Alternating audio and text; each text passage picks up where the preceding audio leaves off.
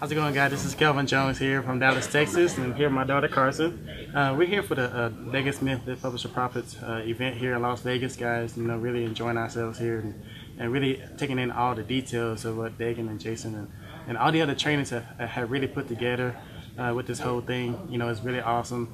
You know, just learning all the little tricks of the trade, guys. You know, all this stuff, the whole trip, everything, all four, five days, you know, everything was worth it.